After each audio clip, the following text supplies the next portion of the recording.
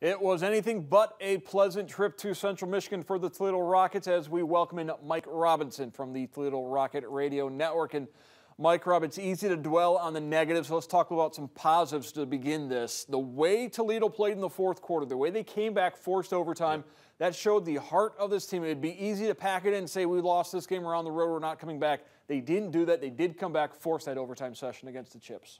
Yeah, absolutely. You know, and uh, you talked about pleasant things in Mount Pleasant. Shout out to Pete Seymour for filling in for me this weekend. He did an excellent job on the radio. And outside of that, the Rockets had a great game plan in the second half. The first half, it just is a troublesome of woes. You know, finding rhythm with the offense, finally putting Finn in the game. We saw what it did in the second half, Mark. You know, the first half, there's still a lot of things they got to get straightened out and cleaned up, especially with the rhythm with that offensive line. I've never been a fan of the two quarterback uh, system, yeah. and I think we have finally got to the point with the Rockets are not going to go to that two quarterback system anymore. Dequan Finn got the start. They stayed with Finn the entire game. Moving forward, it would appear as if Dequan Finn will be the starting quarterback for the Toledo Rockets. I think we've seen enough evidence through the first half of the season. The offense works better with Finn in the game.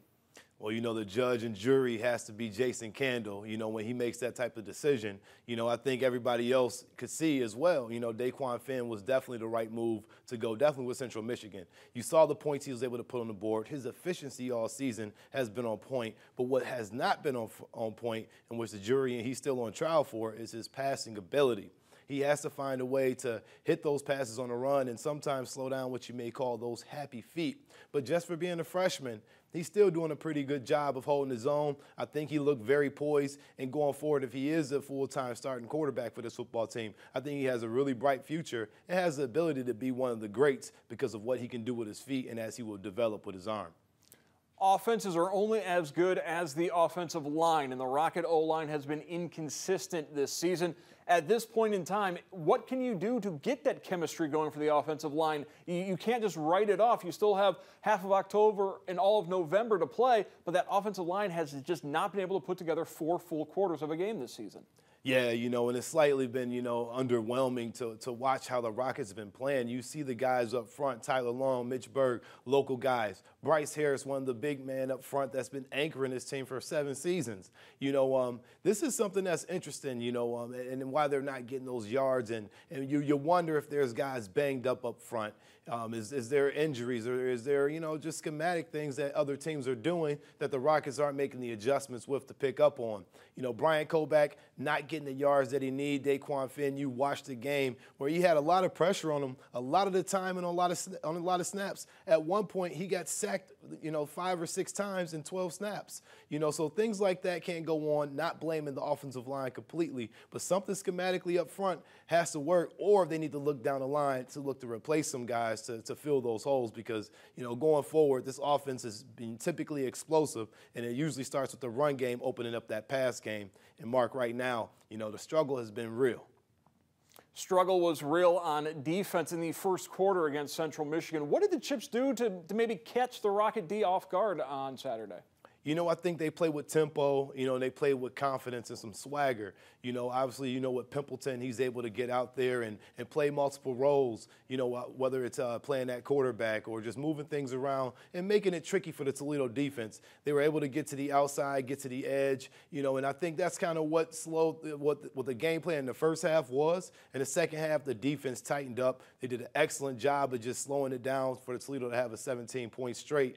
And I think this defense is finding out that Maxen Hook, you know, this young football player is going to become a star for this team as he continues to develop. But as far as, you know, the defense stopping things, you know, I, I don't think that they'll have these problems going forward. The offense just has to score a few more points because holding the team to just under 25 points is pretty solid.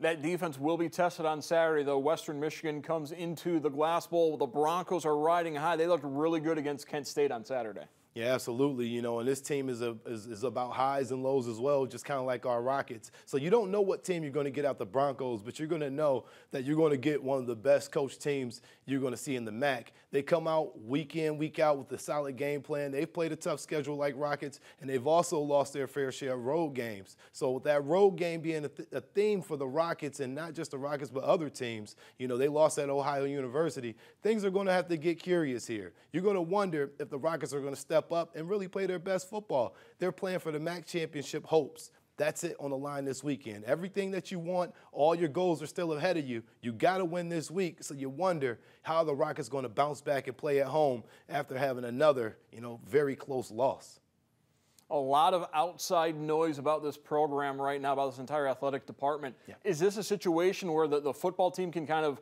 put their backs against the wall and say, hey, there's nobody else around that can do this. We got to do it ourselves and, and have that proverbial chip on their shoulders as they go in against the Broncos?